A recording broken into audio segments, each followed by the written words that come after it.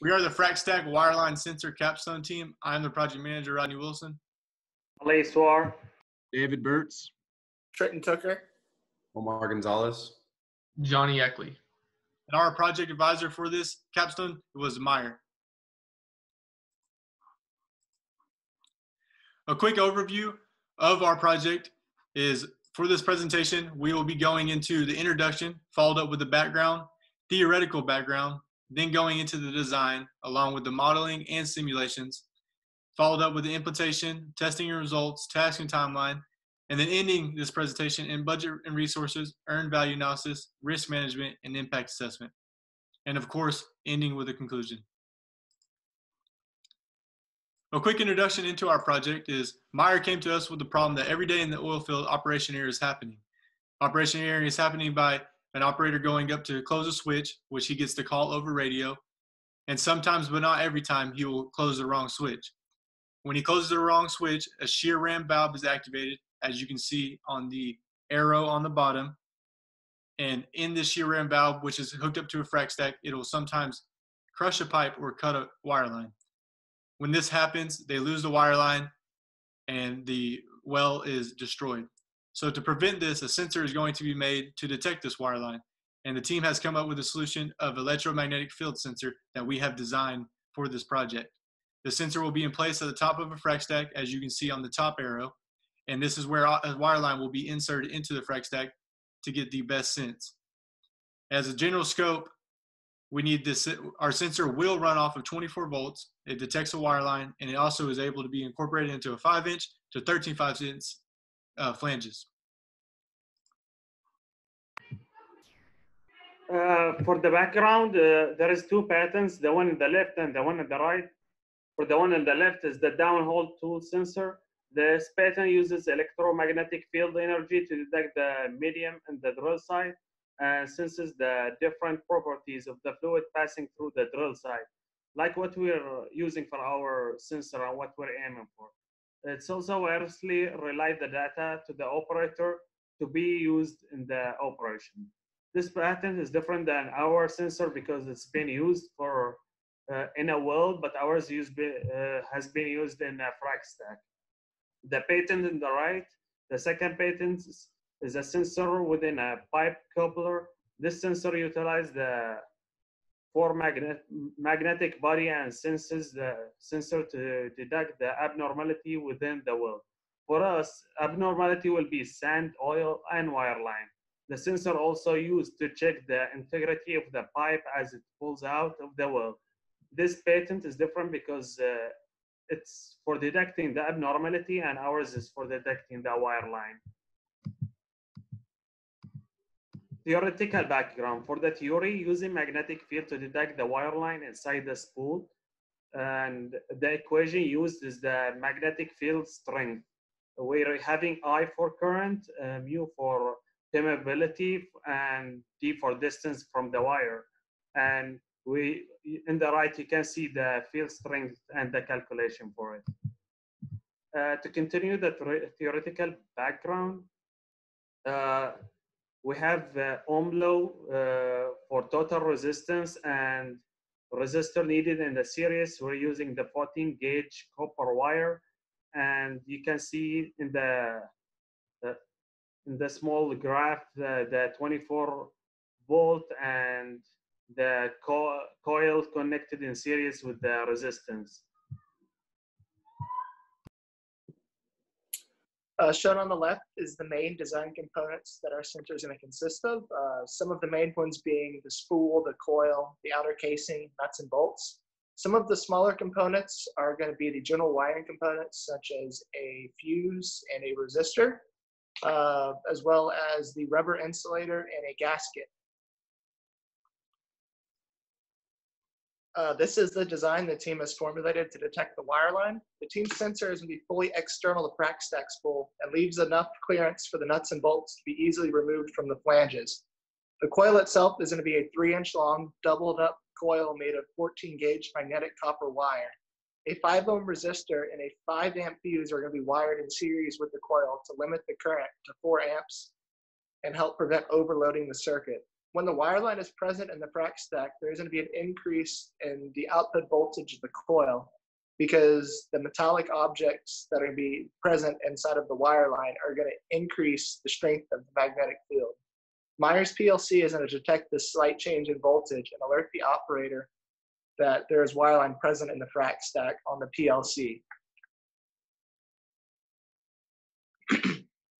uh, shown below is the final design with dimensions. It's important to note that all of these dimensions are in inches. Uh, as you can see, the uh, the outer casing is uh, is inside of the middle of the frac stack spool, and it's fully external. Uh, the outer casing itself is designed like a clamshell, so it can easily be assembled and disassembled by four nuts and bolts. Inside of this outer casing, there is a place for the input and output of the 24 volt DC current. Uh, contained inside of this casing is, of course, the coil, the 5 ohm resistor, and the 5 amp fuse, as well as some other general wiring components. Uh, in order to keep this casing watertight, there is going to be a gasket around all of the edges. And uh, when that clamshell is tightened down against the spool, that gasket will squish up against the, uh, the sides of the spool to help keep it watertight. Uh, when, de when designing this sensor, uh, some of the associated standards the team had to take into account was for the sensor itself, it had to meet UL hazardous certification class one division two environment, which is a standard for most frac stack parts. The coil and other electrical components had to meet National Electric Code NFPA 70, which is a general code for most wiring components and circuits. The outer housing material had to meet UNF1, UNF4, which is a standard for non-ferrous materials inside of an outdoor environment. Modeling and simulations. Here on the left, you'll see that we used a software known as Electrodynamic Applet by Java. This software allowed us to enter the parameters at which we had calculated and come up with for our coil and input them in to demonstrate our magnetic field that is within the coil and around it. Overall, we were able to edit everything to its exact specifications and show the diagram to the left. To further the model and simulations, we have a multi-sim diagram here. Here we are able to insert a coreless coil within Multisim and put the number of wraps which our coil would be, which is 127 wraps, and run 4 amps through this with a 5 ohm resistor all in series running into the coil itself. Now we were able to hook up a voltmeter to show that our voltage change, which would be our magnetic field. Now, since Multisim doesn't read magnetic field, this is why we use voltage to demonstrate that because as the wire is inserted into our coil, the voltage will increase, thus changing the voltage, demonstrating our magnetic field. So for our team to design and create a sensor that will be able to detect a wire line inside of a frac stack, we come up with the idea of using an electromagnetic field to detect the wire line. And our sensor will be connected to a 24 volt power supply. And the power supply will be connected to 14 gauge magnetic copper wire that, will, that is wrapped around our, our metal spool and encased with an aluminum sheet. So based on the diameter of the frac stack, if needed, you can apply more wraps to the coil. That will increase the strength of the electromagnetic field. For the final product, the sensor uses an electromagnetic field to detect the wire line and is it apply, it's applied to the top of the frac stack so there's no interference with any fluids coming into or out of the frac stack. And the sensor is able to detect wireline inside of the frac. For testing, we've tested the travel of magnetic field through the metal. As you can see on the far right picture, we have two copper coils connected to an oscilloscope and a, a DC power supply. As you can see on the oscilloscope on the picture to the left, it is reading the sound running through the pipe, which means there's an electromagnetic field running within the pipe. We've also tested the voltage and amps needed for the coil design, and we tested the strength of the magnetic field needed to be able to detect the wire line inside of the pipe. For the results, we have an input voltage of 24 volts. We have a limiting current of 4 amps. Our resistor is 1 ohm. the total resistance of the circuit is six ohms and the resistor needed for the circuit is about five ohms. For the magnetic field strength, we've got 0.739 Teslas. Here's our tasking timeline for the project. Our project plan started off with initiation, planning, execution, and termination phases. Underneath all these phases were tasks that we inserted to help us have a successful project. On the right, you can see the Gantt chart, which shows the task and how they fall in line with each other. The Gantt chart was used to see which task would overlay and how the project would flow. Overall, the project flowed great and we were able to have a successful uh, project. At the bottom, you can see the timeline. This is what we used throughout the project to help us periodically. This would show us where we were at and how we were doing and what progress we were making.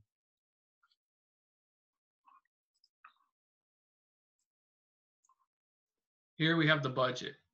So for an overall budget, we had a plan cost of $50,000.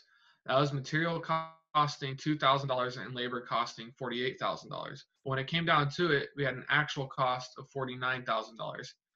We were able to save $1,000 on material through sourcing uh, material through Meyer, and our labor was remained $48,000. Our hourly wage was $25 per hour per team member. Now this resulted in individual weekly cost of $250 per team member. For the team weekly cost, we had a $1,500 overall cost. This resulted in a team cost of $48,000 throughout the duration of the project. Here we have our earned value analysis. The gray line demonstrates our planned cost, which was $50,000. But as you can see, our actual cost in orange was $49,000, coming just below budget, which is great. Now, the exponential line you see at the bottom, that is our earned value. And as you can see, we started out without much of an earned value, well below what we had actually spent. But as we resulted into the execution and termination phase of the project, we we're able to demonstrate that we had earned a value greater than what our actual cost was.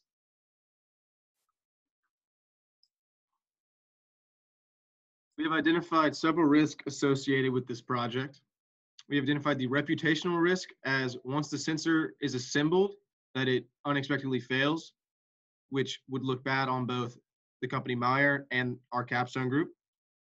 We have identified the structural corrosion of the sensor and coil itself, as well as the magnetization of the pipe itself, as if the pipe is magnetized, the wire line that is going through the pipe will stick to the side and not go down into the well. The technical risk associated with this project are that the coil is not strong enough to produce a magnetic field inside of the pipe itself. We need a magnetic field that is strong enough to pierce the steel pipe and stay within the pipe. Also, in the frac process, many fluids, water, frac fluids are reused and they pick up metal shavings while they go. And there's a possibility that the sensor picks up the metal shavings, causing a false positive. Over to the right, you can see our quantitative risk analysis that we associated with these sensors with the likelihood as the y-axis and the impact as the x-axis. The green green square showing low likelihood and low impact, as the yellow show moderate likelihood, moderate impact, and as the red shows high likelihood and a high impact. The we also identified two risks that are more on the, the Meyer side of the project, the strategy risk of price comparison to similar sensors, as well as the external risk of legal risk as impending on other people's patents. Impact assessment. Um, the global impact associated with this is prevents loss of well and land. So when the wire line, when the shear valve is cut, and the wire line is cut and drops to the bottom of the well, that well is shut down until they can fish that wire line out of the well, which will cause pretty much waste of land and waste of a well.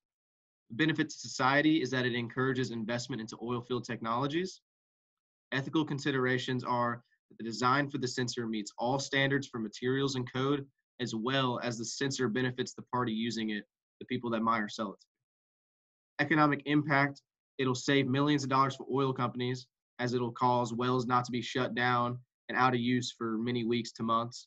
It'll also create and save jobs in the oil field. Health and safety and environmental impacts associated with the project are that it'll keep workers out of the red zone, or also known in the oil field as the danger zone, kind of where anything could go wrong. frac could go wrong, things start flying, just danger zone. As well as the sensor meets the health and standards, meets meets all health and standards, as we don't want the electromagnetic field throwing off anybody's insulin pump or any sort of heart device they have, anything associated with that. In conclusion, due to the current events that have been going on around the world with schools being shut down, Meyer and the team have agreed to a scope change. Instead of presenting a full prototype, we have presented a electromagnetic field sensor design and simulations, as well as some calculations that go along and support it.